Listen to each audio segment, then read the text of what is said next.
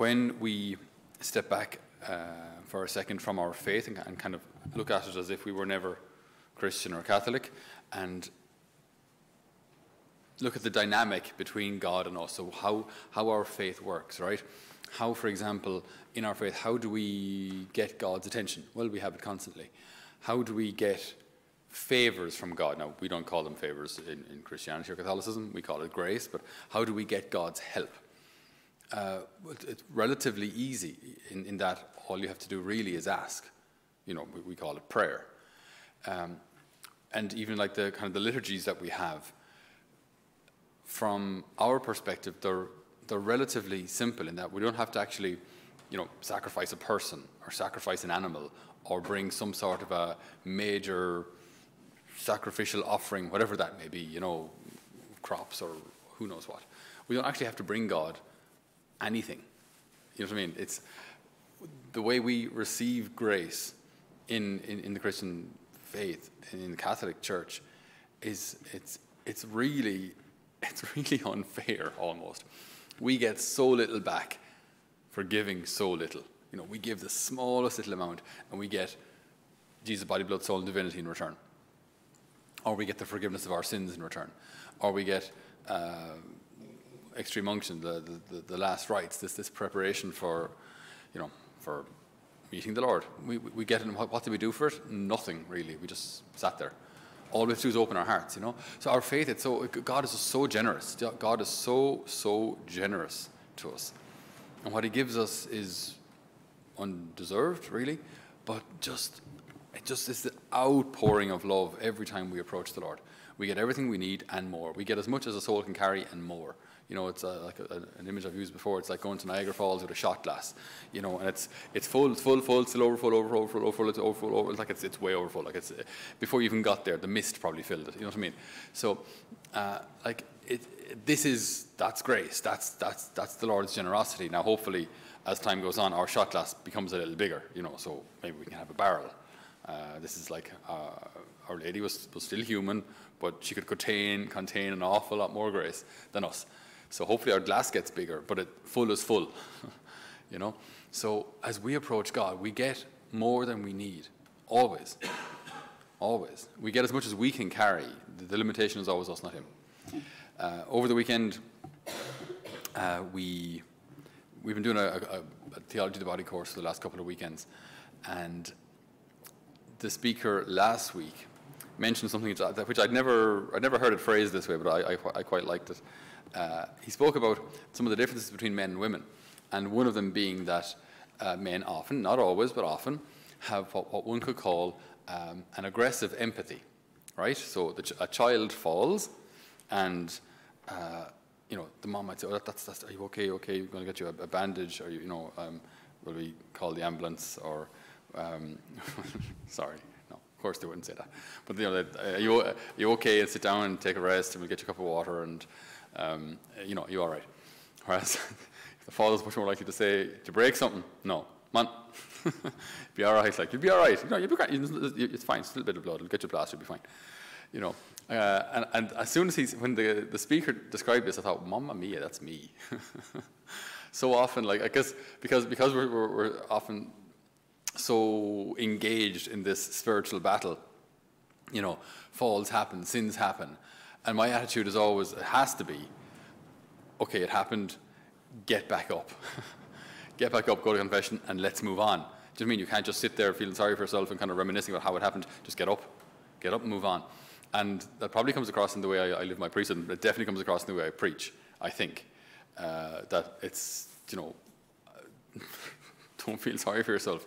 Get up. get up and move on. Because we have to, otherwise we just stay stuck, you know or we say very kind of introverted, like staring.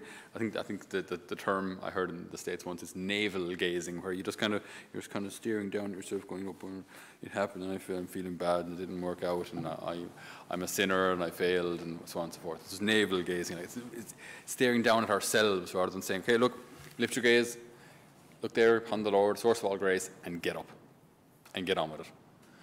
Uh, now, uh, well, I'm not implying one is better than the other. I mean, I think, and that's actually what I wanted to focus on today, the other side of it, uh, which is what was the, what was the term? It wasn't um, compa- nurturing empathy. Yes, they said women then have a tendency towards nurturing empathy. And that's kind of what I wanted to focus on today. Uh, that that side is necessary too. Uh, it's necessary for us in this whole spiritual battle, which is quite intense at the moment, and the darkness of everything that's going on outside, and the confusion, and so on and so forth. It's necessary also, I think, at times to simply rest our head on the Lord, to just simply rest with Him, and to just experience that kind of you know nurturing empathy as well, just to kind of the it's all right, you know, just hold on. There are different times in our lives when we need to be told, look, stop feeling sorry for yourself, get on with it. And there are other times when we need to be told, it's okay. You know, you just need a hug, you don't need advice. You know, we, we all know those people who, um, when, you need consolation, they give you advice. Like, I don't need advice. I actually, I know, I know what the solution is. I know, I, I, I know, I know what I have to do here. Okay, don't go telling me I have to pray more. I know I have to pray more.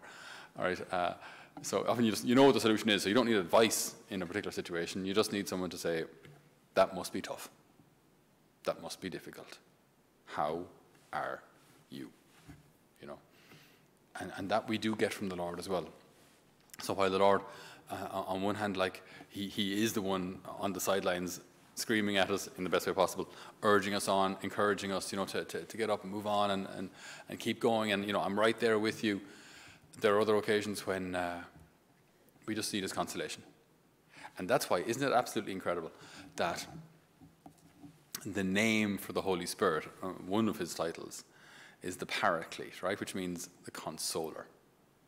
So, one of the persons of the Holy Trinity is called the consoler. Not, not the slave driver, not the coach, right? Uh, but the consoler.